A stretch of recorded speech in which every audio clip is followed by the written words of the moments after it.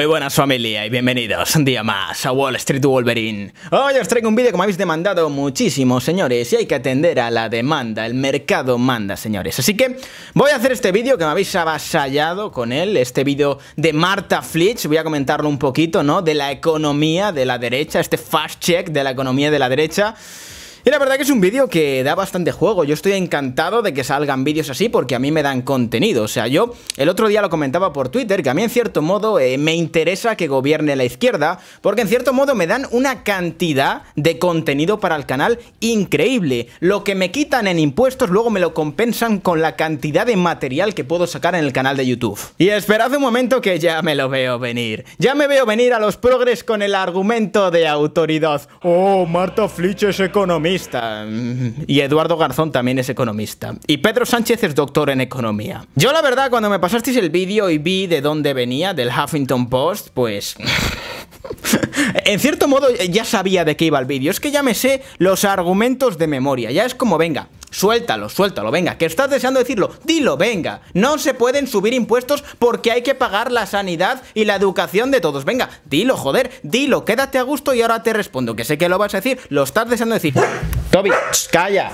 Aunque hay que decir que de vez en cuando te sorprenden con alguna gilipollez nueva. Pero bueno, señores, tampoco me quiero enrollar demasiado con la introducción. Vamos a hacer un pequeño comentario de este vídeo, ¿no? Aquí con mi, con mi tonito humorístico que sé que os gusta, con mi sarcasmo, con mi ironía y con mi salero. Así que, señores, sin más preámbulos, que empiece el show. Ay, el trifachito no tiene ideas. Pues sí que tenemos, sí que tenemos ideas, ¿entiendes? Tenemos ideas de, economía, grandes ideas, que no solo sabemos hablar de la ruptura de España y de cosas de fichajes. No, no, no, nos sabemos hablar de un montón de cosas y de economía tenemos grandes ideas. Como por ejemplo, bajar los impuestos. Bajar los impuestos para que todos vivamos mejor. Ya, pero es que con los impuestos se paga el estado de bienestar, la educación, la cultura, eh, los hospitales. ¿Cómo no, señores? ¿Cómo no? No se pueden bajar impuestos porque hay que pagar la sanidad y la educación de todos y las carreteras. Eso también es muy importante. Hay que pagar también las carreteras de todos. Marta, como supuesta economista que eres, deberías saber que el hecho de bajar impuestos no implica necesariamente recaudar menos, al igual que el hecho de subir impuestos no implica tampoco necesariamente recaudar más. Todo esto se explica teniendo en cuenta las consecuencias de las bajadas de impuestos. Si tú bajas los impuestos, estimulas la economía, como ha ocurrido en Estados Unidos con la rebaja fiscal de Donald Trump. Desde el punto de vista superficial y del limitadito a nivel mental, pues bajar impuestos solo puede implicar recaudar menos. Pues no, señores, hay que tener en cuenta las consecuencias que tiene en el mercado y en la economía, que son muy positivas y acaban retroalimentando la economía y puedes acabar recaudando incluso más. Como os digo, es el caso de lo que ha ocurrido en Estados Unidos. Hay una reforma fiscal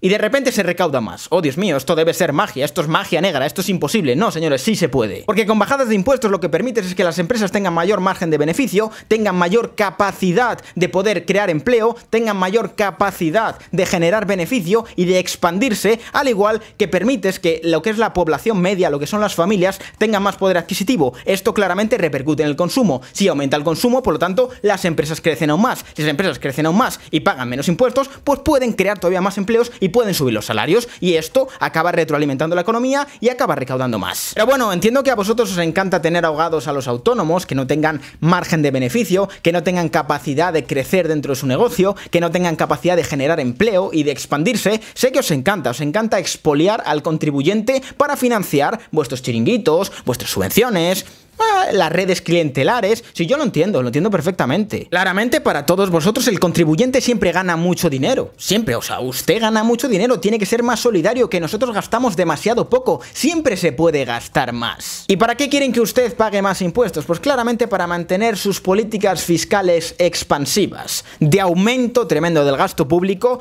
que empíricamente hemos visto que han funcionado tan bien en España. El plan E de Zapatero fue una maravilla para España nivel económico y fue una política fiscal expansiva keynesiana. Que no les engañen señores, se puede bajar impuestos y se puede también seguir pagando la sanidad de todos y se puede seguir pagando la educación pública de todos. Sí, se puede.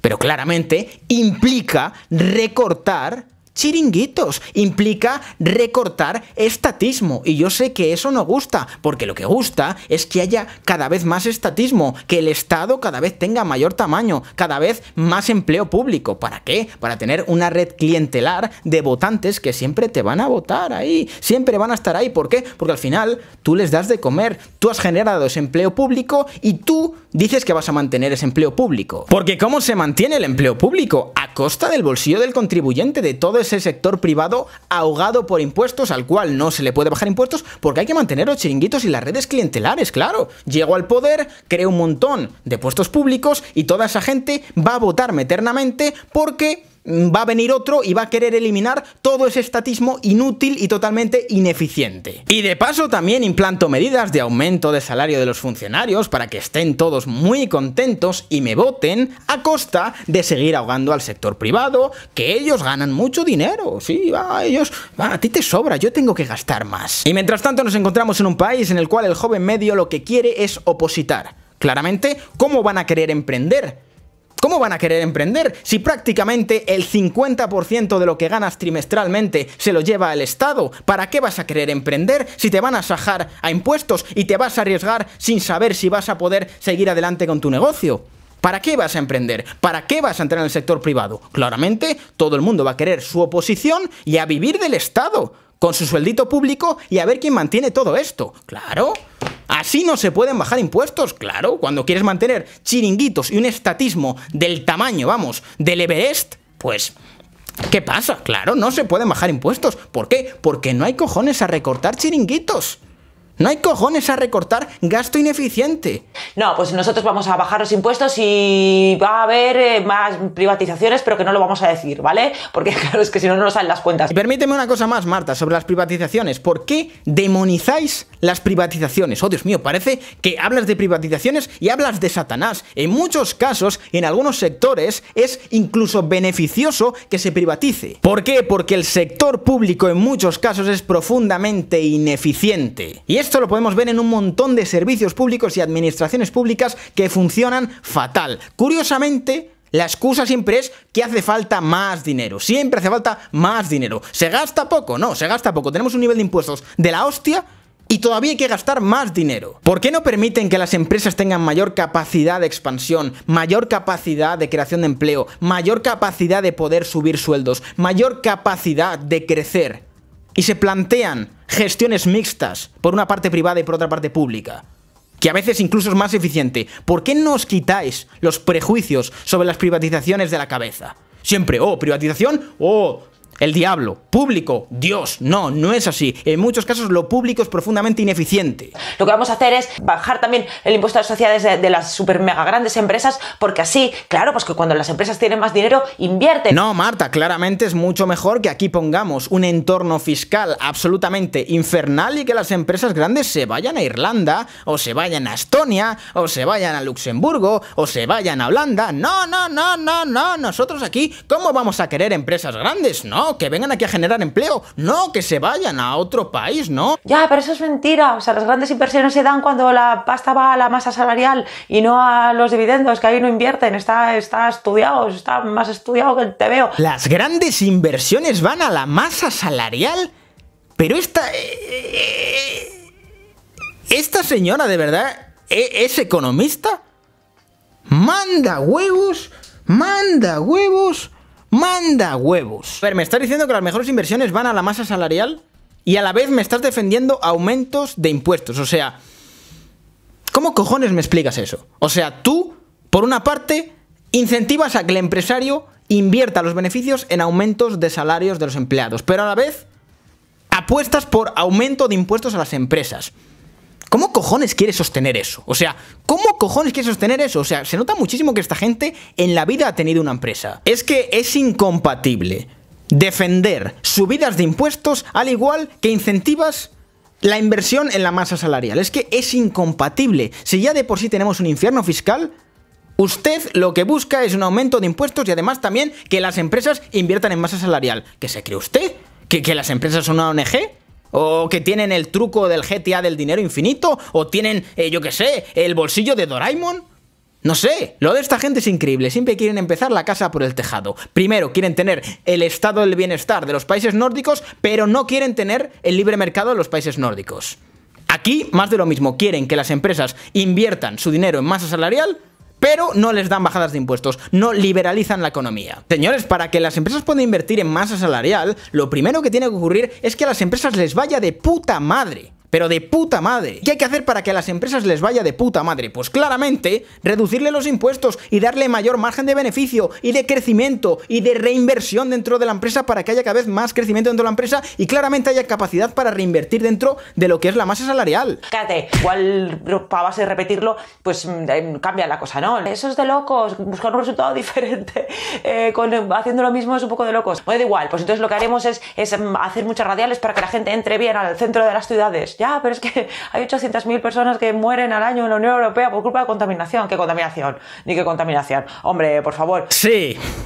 Obras, muchas obras, como las de Zapatero, ¿no? Eh, esos aeropuertos en los cuales no, no, no pasan aviones, y, no se espera que pasen. Es curioso porque lo que está planteando es una política fiscal expansiva keynesiana. Eso es una política de izquierdas, en plan, eh, buscar la expansión mediante el aumento del gasto público. Y yo de momento en ningún programa de ningún partido de derechas he visto políticas fiscales expansivas keynesianas. En cambio, en programas económicos de izquierdas sí que las he visto. Y sobre la contaminación, eh, ¿qué, ¿qué, cojones pinta ahí? O sea, estás hablando de políticas fiscales expansivas keynesianas, que es curioso porque en cierto modo es como que estás criticando a la izquierda, porque esas son las clásicas políticas de la izquierda. Y estás diciendo que esas políticas son las culpables de la contaminación, o sea, las carreteras tienen la culpa de que 800.000 personas mueran al año en la Unión Europea. Eh, a esta señora eh, le han dado tres o cuatro whiskies antes de de, hacer el vídeo, porque es que una, una, cantidad de incongruencias, pero tiene una cantidad de incongruencias increíble. Y no vamos a poner puertas al campo porque los alquileres tienen que subir. si se pagan es porque la gente tiene dinero para pagarlos. Ya, pero eso es especulación de los fondos de inversión. Bueno, da igual, es que estáis de un pejillero de verdad. ¿Y sobre todo esto qué? ¿Qué propones? ¿Control de precio de los alquileres? E, esa gran medida que históricamente se ha visto que funciona tan bien y que genera algo tan maravilloso como es la escasez? ¿Qué proponen ustedes? No hay que ayudar a las personas mayores de 52 años que se busquen la vida porque el mercado es el mercado y no hay que derogar la reforma laboral porque la reforma laboral lo que ha hecho es flexibilizar el mercado de trabajo. Sí, esa reforma laboral que tanto criticáis, pero desde que Sánchez lleva en el gobierno, Bien que cuando han salido datos de bajada del paro, bien que se ha atribuido el mérito. Es como critico esta reforma laboral, es lo peor que hay, pero luego cuando me da resultados positivos me cuelgo yo las medallas. Ya, pero eso es una puta mierda, porque lo que hizo fue que bajaran los salarios y entonces que el consumo no tire de la economía, habiendo habido una bajada de la demanda internacional, que fue lo que bajaron el PIB de la, la desaceleración. A ver, Marta, por favor. ¿De verdad eres economista? ¿De verdad eres economista? ¿En serio tú esperarías que en plena crisis financiera subieran los salarios? O sea, es que eh, es un disparate lo que estás planteando. Claro que bajaron los salarios, pero hay que entender el contexto. Estamos en una crisis profunda, en plena recesión, una malísima situación económica. ¿Qué quieres? ¿Que las empresas encima suban salarios? Si no podían casi mantener su propio negocio. A ver, señores, hay que entender el contexto de la reforma laboral. El contexto de la reforma laboral es la crisis financiera de 2008. Las empresas están jodidísimas. La situación económica es malísima. ¿Qué ocurre? Que hay muchas empresas que se ven en la tesitura de tengo que despedir a empleados porque no vendo como antes, no tengo los ingresos que tenía antes y tengo que despedir a gente. ¿Por qué? Porque no hay dinero. ¿Qué ocurría con muchas empresas? Que les salía más caro despedir a ciertos empleados que directamente cerrar la empresa por completo. ¿Qué haces? ¿Qué haces si no? Señores, había que flexibilizar este tipo de cosas o lo que acabarías haciendo es destruir empresas a mansalva. Y ya no solo eso, señores, sino que la situación laboral que había por entonces, antes de la reforma laboral, claramente en una situación de crisis como la de 2008, vamos, hacía cualquier cosa menos generar empleo. En ese momento lo necesario y lo prioritario era reducir el paro. Hacer que las empresas tuvieran incentivos de contratar a gente, no miedo, porque contratas a alguien y si te toca despedirle te arruinas. Claro, señores, hay que entender el contexto de esta reforma laboral. Si no se hubiera hecho esta reforma laboral, un montón de empresas hubieran ido a la quiebra y la situación habría ido muchísimo peor. No, la desaceleración es culpa de eh, Pedro Sánchez. ¿Vale? Y ya está. Y bueno, sobre que la culpa de las desaceleraciones de Pedro Sánchez, nadie está diciendo eso. Lo que se le critica a Pedro Sánchez es que no aplique medidas correctas frente a esta desaceleración. Claro, ¿a qué clase de genio se le ocurre en plena desaceleración plantear un impuesto al diésel, plantear la tasa Google, plantear una subida del salario mínimo? Es que no me jodas. Y ya no solo eso, subida de sueldos también a los funcionarios, aumento de gasto público, es que es acojonante. Bueno, da igual, pero estamos muy No, eso es mentira, vamos a cumplir lo que se acordó para 2019. Y sobre la deuda. Marta, no me vengas contando cuentos que en enero hemos batido el récord de deuda pública aquí en España. No me vengas contando cuentos de que oh, no pasa nada. Eh, bueno, pues eh, no se puede subir el, salario porque es un 20 y pico por cien y eso nunca se ha visto y va a explotar el planeta. No, eso no es verdad, eso no es verdad. De hecho, eh, crea más puestos de trabajo y crea más riqueza y más y tal, y más consumo y tal. Marta, claro que hay que subir salarios, pero de forma natural, no impuesta, porque imponiéndolo al final lo que haces es repercutir negativamente en la economía y ya no solo eso, sino que dificultas la entrada entrada en el mercado laboral de las personas con las rentas más bajas. ¿Por qué? Porque has subido el salario mínimo y todo porque has roto el equilibrio de mercado. Has llegado tú y has dicho, ala, venga, vamos a subirlo. ¿Por qué? Porque me da a mí la gana. Bueno, da igual. Nosotros no debatimos sobre esas cosas porque tenemos clarísimo que hay que bajar los impuestos. Luego los subimos, sobre todo el IVA, ¿vale? Que es el, que, el más regresivo, que es el que más jode a, la gente, mm, clase obrera. Sí, porque todos sabemos que los únicos que han subido el IVA es el PP, ¿no? El PSOE, no, no, no, no, no. El PSOE no ha subido el IVA, no, no, no, eso os lo imaginasteis, eso no ha ocurrido, no, eso es una construcción social. Madre mía, señores, vaya cantidad de falacias juntas en tan poco tiempo, en un vídeo de 3 minutos. He intentado ser breve, porque si me pongo aquí a enrollarme con cada cosa que dice, bueno, me puede salir un vídeo de 30 minutos porque tela. Tela, tela con el vídeo. Así que nada, señores, hasta aquí el vídeo de hoy. Espero que os hayáis echado un... Así que nada, señores, hasta aquí el vídeo de hoy. Espero que os haya gustado y que os hayáis echado aquí unas risillas, ¿no? Con el vídeo, que de paso estamos aquí, ¿no? Y nada, señores, dejad un like ahí abajo si queréis más vídeos de este estilo, que siempre se agradece. Y no me enrollo más. Muchísimas gracias por todo el apoyo. Un abrazo enorme y como siempre, nos vemos en el próximo vídeo.